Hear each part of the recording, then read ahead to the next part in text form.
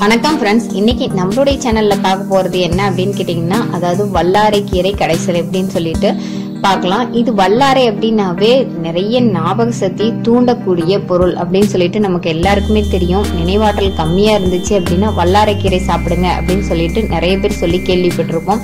இந்த வல்லாரைக்கீரை எப்படி சமைக்கலாம் அப்படிங்கிறதுக்கு நிறைய பேருக்கு வந்து டவுட் இருக்கும். அது மட்டும் இல்லாம இந்த வல்லாரை அப்படிங்கிறது வந்து பாத்தீங்கன்னா ஒரு விதமான கசப்பு தன்மை உடையதா இருக்கும். குழந்தைங்களை சாப்பிட வைக்கிறது அப்படிங்கிறது ஒரு பெரிய பாடாக இருக்கும். அது எப்படி சமைச்சு சாப்பிடலாம் அப்படிங்கறத இன்னைக்கு வீடியோவில் பார்க்கலாம். அதுக்கு முன்னாடி இந்த வல்லாரக்கீரையில அப்படி என்ன அதாவது ஞாபக சக்தியை தூண்டக்கூடிய தன்மை மட்டும்தான் இருக்கா அப்படிங்கிறது நம்மளுக்கு டவுட்டாக இருக்கலாம். அதை தாண்டி நிறைய நற்பண்புகள் இருக்கு. அது பார்த்தீங்க அப்படின்னா மூளை சீராக இருந்தாலே நம்மளுக்கு வந்து புத்துணர்ச்சியா இருக்கும் அப்படின்னு சொல்லிட்டு எல்லாருக்குமே தெரியும். அந்த வகையில வந்து பாத்தீங்கன்னா வல்லாரை வந்து அதிக வலிமையை குடிக்கக்கூடியதுன்னு சொல்லலாம். ஒரு பழமொழி கூட சொல்லுவாங்க. அதாவது வல்லாரை உண்டோரிடம் மல்லாடாதே அப்படிம்பாங்க. அவங்க வந்து நிறைய வந்து ஞாபக சக்தி திரும்ப திரும்ப பேசிட்டே இருப்பாங்க அப்படிங்கிற மாதிரி சொல்லுவாங்க. ஸோ அந்த அளவுக்கு ஞாபக சக்தி தூண்டக்கூடிய பொருள் எது அப்படின்னு கேட்டிங்கன்னா இந்த வல்லாரைக்கீரையை சொல்லலாம். இதுக்கு மட்டும்தானா அப்படின்னு சொல்லிட்டு உங்களுக்கு டவுட் இருக்கலாம். மூளைக்கு வேண்டிய ஊட்டச்சத்துக்களை கொடுக்கிற உணவுல வல்லாரை வந்து முக்கியத்துவம் பங்குன்னு சொல்லலாம். அதனால தான் மூளை வளர்ச்சி குன்றிய குழந்தைகளுக்கு வந்து பாத்தீங்கன்னா அடிக்கடி நினைவாற்றலை தூண்டுறதுக்காக வல்லாரைக்கீரை வந்து கொடுங்க அப்படின்னு சொல்லிட்டு கேள்விப்பட்டிருக்கோம். இது மட்டும் இல்லாம சொட்டு சொட்டா வந்து சிலருக்கு வந்து பாத்தீங்கன்னா சிறுநீர் பிரச்சனை இருக்கும். அந்த பிரச்சனையை தீக்கிறதுக்கும் இந்த வல்லாரக்கீரை வந்து மிக உபயோகமா இருக்கும். சரி இந்த வல்லாரக்கீரையை வந்து நம்ம எப்படி வந்து உணவுல சேர்த்துக்கலாம் அப்படிங்கறத பார்க்கலாம். எப்படி இதை தயார் பண்ணலாம் அப்படிங்கறதையும் பார்க்கலாம் வாங்க. வல்லாரைக்கீரை இப்படிதான் இருக்கும். அது பார்க்கவே வந்து பார்த்தீங்கன்னா கிட்டத்தட்ட வந்து ஒரு தாமரை அந்த இது இருக்கு இல்லைங்களா இலை போல நல்லா படர்ந்து இருக்கும். இது சாதாரணமாக நாங்கள் வீடுகளில் வச்சாவே வளரக்கூடியது தான் ஸோ அந்த மாதிரி கீரை வந்து இப்போ நிறைய இடங்களில கிடைக்கக்கூடியது. முக்கியமாக வந்து பார்த்தீங்கன்னா கீரைக்காரங்க கிட்ட சொன்னால் கிடைக்கும். உழவர் சந்தை இந்த மாதிரி பல பகுதிகளில் இந்த வல்லாரை வந்து நிறைய கொண்டுட்டு வர ஆரம்பிச்சிட்டாங்க. அதனால இந்த பொருள் கிடைச்சிது அப்படின்னா மறக்காமல் குழந்தைங்களுக்கு வாங்கி சமைச்சு கொடுங்க. சரி இதை வந்து எப்படி வந்து க்ளீன் பண்ணலாம் அப்படிங்கிறத பார்க்கலாம்.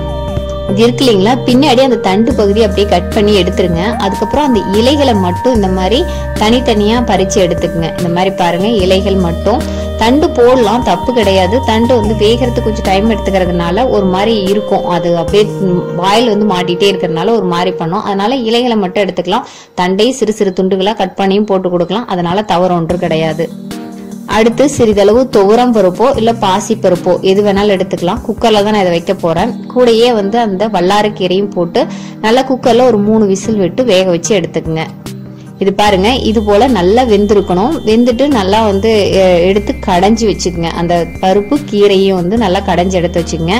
அதுக்கப்புறம் நான் இதை வந்து என்னதுன்னா மண் சட்டியில தான் செய்ய போறேன். ஸோ மண் சட்டி வச்சுட்டு அது கூட வந்து கொஞ்சம்னா சிறிதளவு வந்து எண்ணெய் ஊத்திட்டு அதுக்கப்புறம் தேவையான அளவு கடுகு உளுந்து அதுக்கப்புறம் சீரகம். சீரகம் சேர்த்துற அளவுக்கு ரொம்ப நல்லா இருக்கும் இந்த மாதிரி பருப்பு சம்பந்தமானதுக்கு பூண்டு வந்து சிறு பல் வந்து நீங்க தட்டி போடலாம்.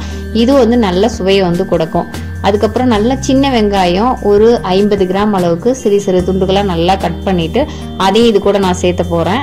பாருங்க வரமிளகா அதாவது வறுபடுறதுக்காக வரமிளகா. நீங்கள் தேவைப்பட்டால் என்ன பண்ணிக்கலாம் அப்படின்னா கொஞ்சம் வந்து என்னன்னா கொஞ்சம் மிளகாத்தூளும் சேர்த்துக்கலாம். பாருங்கள் பூண்டு சின்ன வெங்காயம் எல்லாமே நான் வந்து சேர்த்துட்டேன். சேர்த்ததுக்கப்புறம் நல்லா வந்து இதை வறுத்து எடுத்துருங்க. இது கூட வந்து நல்லா பழுத்த ஒரு மூன்று தக்காளி வந்து இது கூட சேர்த்துக்குங்க. சேர்த்தும் போது தான் இன்னும் வந்து சுவை கூட செய்யும். ஏன்னா வந்து கொஞ்சம் க கசப்பு தன்மை இருக்கிறதுனால இது கூட வந்து ஒரு மூன்று தக்காளி வந்து சேர்த்திருக்கேன் நான். நல்லா பழுத்த தக்காளியா. எப்பவுமே தக்காளி போட்டோன்னே அது நல்லா வதங்கணும் அப்படின்னா அது கூட கொஞ்சம் சிறிதளவு உப்பு போட்டுட்டீங்க அப்படின்னா சீக்கிரமா வதங்க ஆரம்பிச்சிடும் இப்போ பாருங்க இந்த தக்காளி வந்து நல்லா வதங்கட்டும். இது போல நல்லா வதங்கினதுக்கு அப்புறம் சிறிதளவு தண்ணி ஊத்தி நல்லா கொதிக்க வச்சாச்சு. இப்ப நம்ம கடைஞ்சி வச்சிருக்கோம் இல்லைங்களா? அந்த பருப்பை வந்து அது கூட நம்ம சேர்த்து போறோம். பருப்பும் வல்லாரக்கீரையும் அந்த கடைசியில வந்து அது கூட சேர்த்திடலாம்.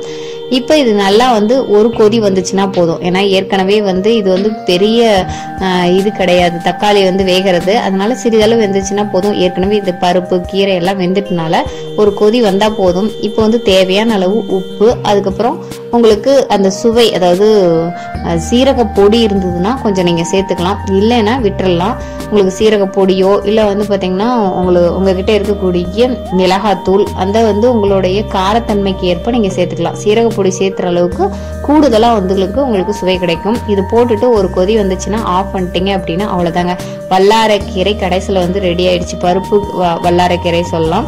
இப்போ பாருங்கள் நல்லா கொதிச்சிருச்சு. கொதிச்சதுக்கப்புறம் சுவையான வல்லாரக்கீரை கொஞ்சம் கூட உங்களுக்கு உங்களுக்கு எப்படி இருக்காது அப்படின்னா அந்த கசப்பு தன்மை சுத்தமா இருக்காது. குழந்தைங்க ரொம்ப விரும்பி சாப்பிடுவாங்க. ஃப்ரெண்ட்ஸ் கண்டிப்பா இந்த ஒரு தகவல் வந்து உங்களுக்கு பயனுள்ளதா இருக்கும்னு நினைக்கிறேன். வல்லாரக்கீரை வந்து வெறுமனா வந்து மூளை வளர்ச்சிக்கு மட்டும்தானா நினைவாற்றலை தூண்ட மட்டும்தானான்னு நினைச்சிட்டு இருப்பீங்க. அது மட்டும் இல்லாம நிறைய விஷயங்களுக்கு இது பயனுள்ளதா இருக்கும் அப்படிங்கறத இந்த வீடியோ மூலம் நீங்க தெரிஞ்சிருப்பீங்கன்னு நினைக்கிறேன். கண்டிப்பாக இந்த மாதிரி பயனுள்ள தகவலை தெரிஞ்சுக்கணும்னு நினச்சிங்கன்னா மறக்காம வாகை தமிழ் சேனலை சப்ஸ்கிரைப் பண்ணிக்கிங்க. சப்ஸ்கிரைப் பண்ணால் பத்தாது. பக்கத்தில் இருக்கக்கூடிய பெல்லைக்கான கிளிக் பண்ணிங்கன்னா இந்த மாதிரி வீடியோ அப்லோட் பண்ணோன்னே உங்களுக்கு நோட்டிஃபிகேஷன் வந்து சேரும்.